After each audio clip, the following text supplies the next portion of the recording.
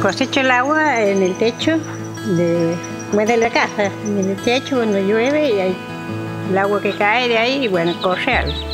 El sistema se llama captación de, agua de lluvia. El agua de los techos cae en la canaleta, se colecta con este embudo y ahí canalizamos todo el agua a, la cisterna.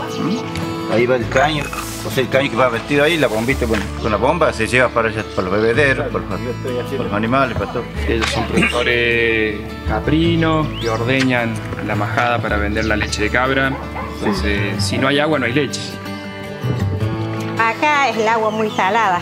Ya tenemos una perforación, pero es muy salada, los animales no la toman. El tema del agua es lo primero que nosotros tratamos de acomodar. Las familias han construido la cisterna, que ya la están usando.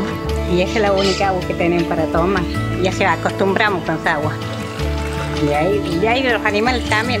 En principal por los animales. Sí, eso es lo más... Eso es lo más importante.